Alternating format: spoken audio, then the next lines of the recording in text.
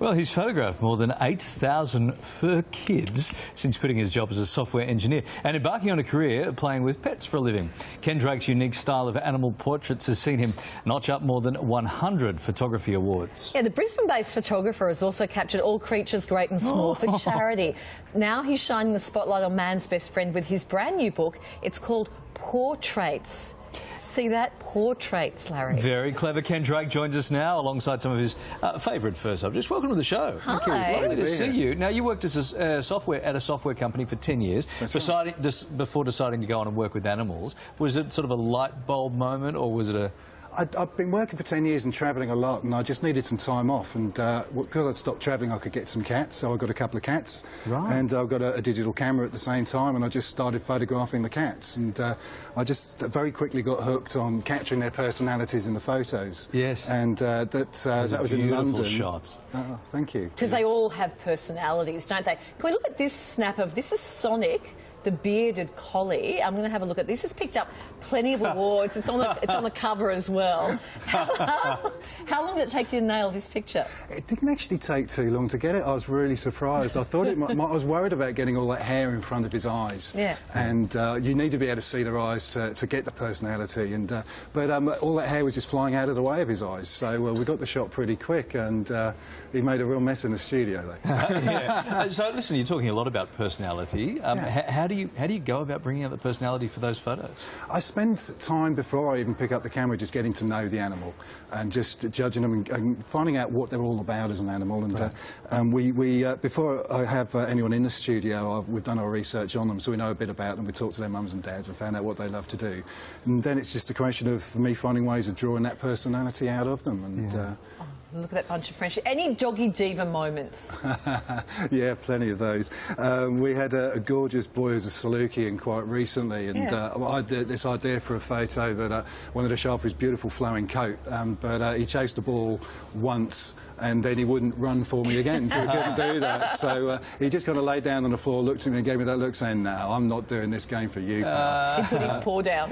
he, he, most certainly did, yeah. yeah. These adorable little guys are from the RSPCA. This is Claude.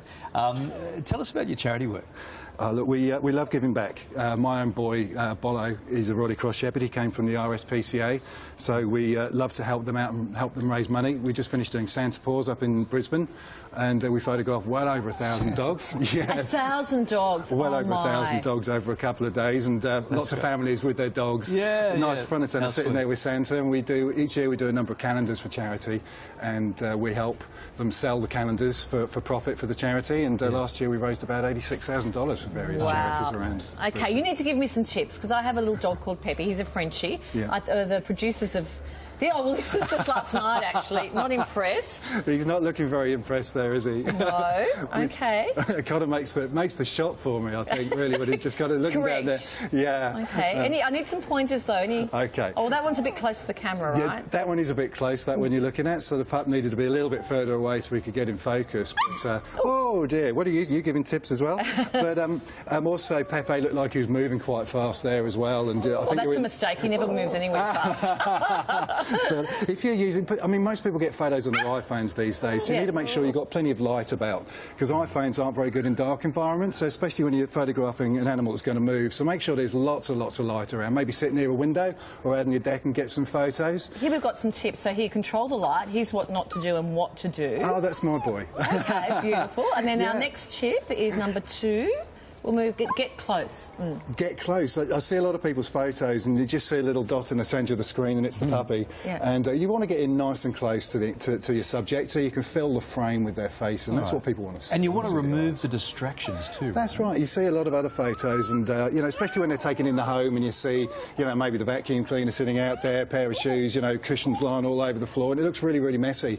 So right. if you want to get nice photos, you want to make sure it's got a nice oh, clean background. Okay. So that was, a, that was their what to do on the left and what not to to do on the right. You could see all the washing in the background and Okay. everything, right? Mix up the angles, you say. right. That, yeah, the other thing I see a lot with people's photos is that people are standing up and looking down at their pet. So every single photo they show has got their pet just looking up, and that can look really, really cute in the photo. Hmm. But I think it's really nice to get down on the same level as them, and uh, then you can get straight into those eyes, and uh, you, you get to get more of their personality that way as well. So maybe sit them up on the couch and sit down on the floor and get the photo, so your your face, your camera's at the same level as their their eyes. And, and you want to banish the blur as well. Yeah, so that's what I was saying before about getting plenty of light, and especially with uh, smartphone cameras. You do need lots and lots of light for them. So, uh, as I said, just you know, sit near a, a nice bright window where there's uh, some good light coming in, or even out on the deck or out in the front yard, and, uh, And show their best angle.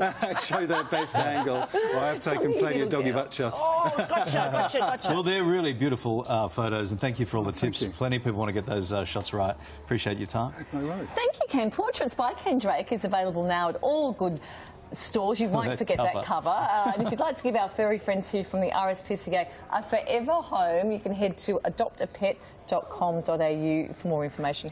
Head to our website.